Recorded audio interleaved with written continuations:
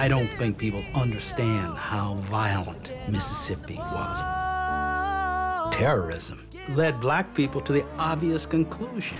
If they try and vote, they're messing with white folks' business, and they can get hurt or killed. We hope to send into Mississippi this summer upwards of 1,000 students from all around the country who will engage in what we're calling freedom schools, community center programs, voter registration activity, and in general, uh, uh, a program designed to open up Mississippi to the country. The burned out station wagon in which the three civil rights workers were last seen has been processed by FBI laboratory investigators. I knew it was going to be bad. I didn't dream for a minute that people would be killed.